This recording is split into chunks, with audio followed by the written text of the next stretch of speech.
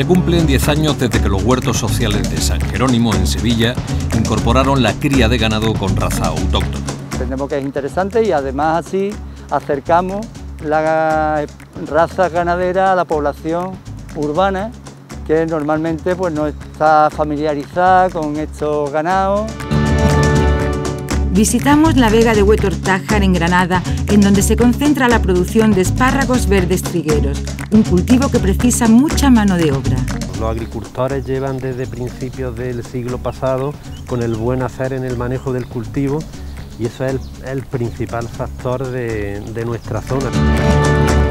El condado de Huelva cultiva diferentes variedades de uva en su apuesta por los vinos rosados, capaces de conquistar nuevos mercados.